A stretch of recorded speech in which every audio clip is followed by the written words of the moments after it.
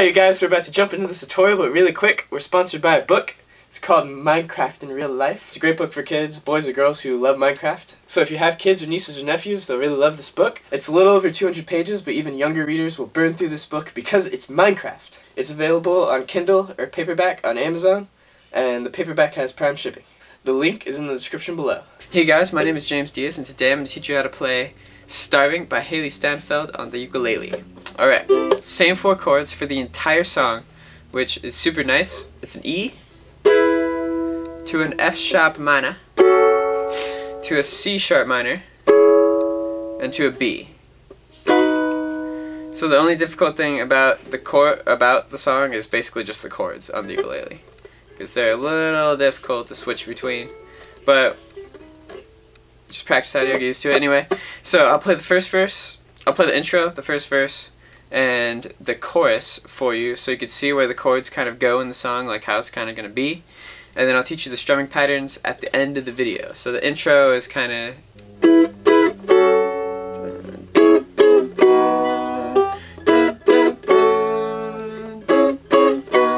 Then we go to the first verse and it's You know just what to say Things that scare me I should just walk away I can't my feet. The more I know you, the more I want to. Something inside me's changed. I was so much younger yesterday. And we go to the chorus and it's I didn't know that I was starving till I tasted. Don't need no butterflies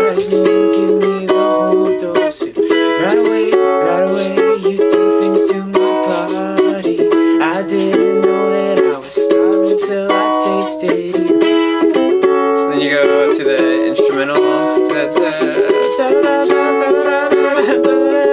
Then you go back to By the way, by the way, you do things to my body. I didn't know that I was starving till I tasted you. Then you go, you go straight into that second verse, um, and that's basically how it'll go for the whole thing. Um, so I'll teach you the strumming patterns for the song from now on, and it's uh, the intro and the verses.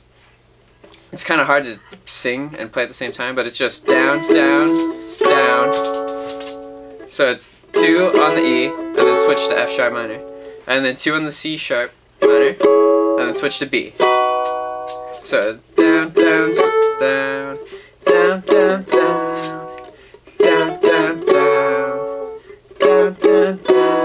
and then you know just what to say. That's how it goes. And that's kind of hard to play and sing at the same time, so um, you could probably just use the strumming pattern that I'm going to use for the chorus if you wanted to. Um, for the verse, just to make it easier on yourself if you want. Um, so the, the strumming pattern for the chorus would be like, yeah, so the strumming pattern for the chorus is going to be down, down, up, up, down, down, up, up, down, up, down, up, down, down, up, up, down, up, down, up, down, down, up, up, down, up, down, up. I hope that this helped you guys. Thank you guys for watching. We're on those chords and the strumming pattern. Um, and I'll see you in another.